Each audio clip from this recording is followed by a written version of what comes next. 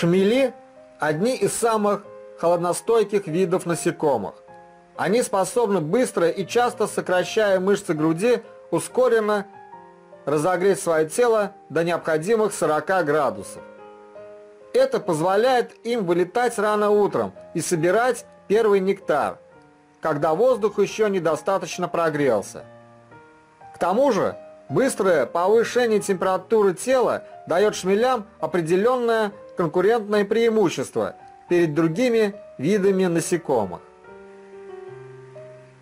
Окраска шмелей, как правило, желто-черная, часто в полоску.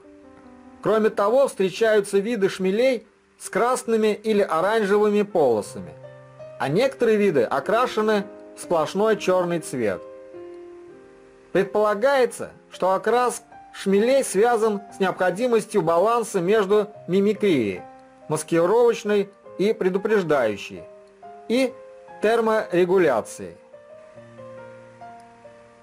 Впервые каменный шмель был описан ученым Карлом Линнеем в 1880 году. Он назвал этот вид апис лапидария, который впоследствии был переименован в бомбус лапидариус. Отличительной чертой этого вида является черный окрас всего тела, за исключением кончика брюшка, который окрашен в ярко-оранжевый или алый цвет. Размеры каменного шмеля почти не отличаются от габаритов его ближайших собратьев. Самки, отвечающие за размножение в гнезде, имеют самые большие размеры тела – около 23 мм в длину. Рабочие особи женского пола и самцы-трутни не превышают 16 мм в длину. Шмели – общественные насекомые.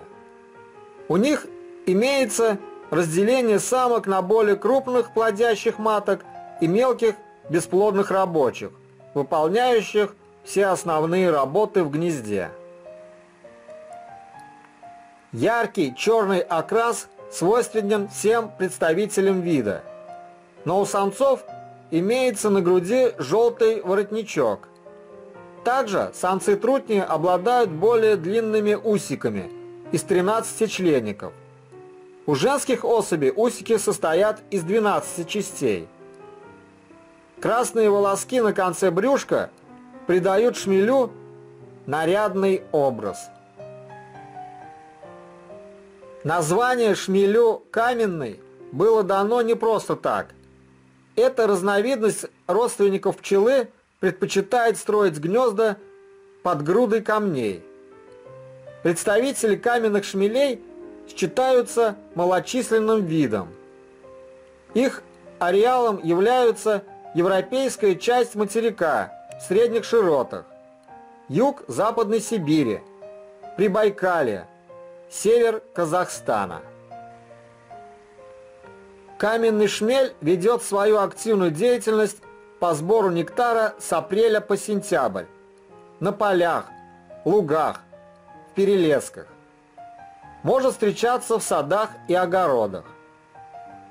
Опылению подвергаются практически все растения, которые попадаются в поле зрения насекомого. Одно семейство насчитывает 300-400 особей. Самка-основательница весной откладывает партию яиц в выбранном ею укромном месте среди камней. За своим первым потомством она ухаживает сама.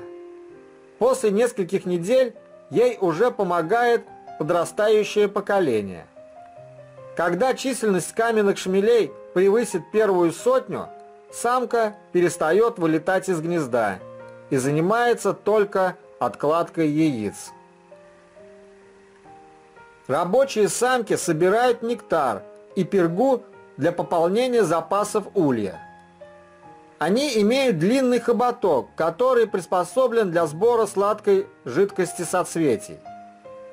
Трутни строят новые ячейки для разведения потомства и для хранения переработанного нектара, известного как мед.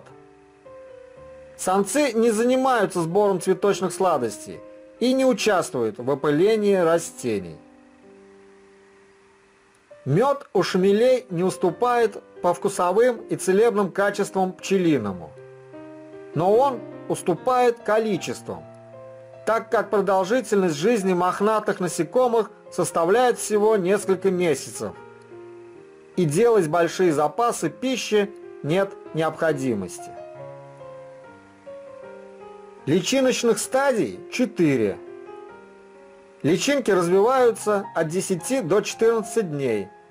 Затем они плетут шелковый кокон, где будут окукливаться. Куколка развивается 14 дней. Итого развитие инфрамагинальных стадий продолжается 4-5 недель в зависимости от температуры окружающей среды и достатка пищи.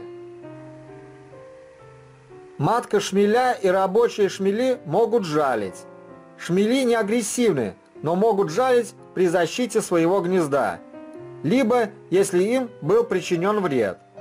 В отличие от пчелиного, жало шмеля не имеет зазубрин, поэтому насекомое может многократно применять его, не причиняя себе вреда. По этой же причине после укола жало не остается в ране.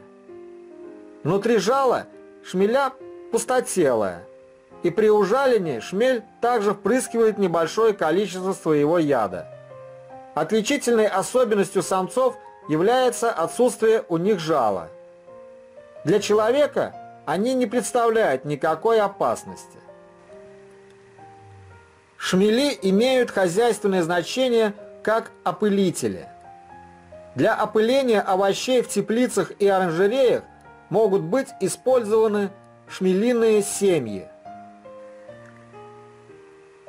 Шмель – ярко окрашенное, очень полезное насекомое. Оно является универсальным опылителем, не приносит вреда человеку, не проявляет агрессии. Шмели широко распространены практически по всему земному шару. Они легко переносят прохладный климат, избегают тропиков из-за особенностей терморегуляции собственного тела. Это уникальный вид семейства пчел, который заслуживает внимательного и осторожного отношения со стороны людей. Ведь некоторые разновидности шмелей на сегодняшний день уже занесены в красные книги отдельных государств.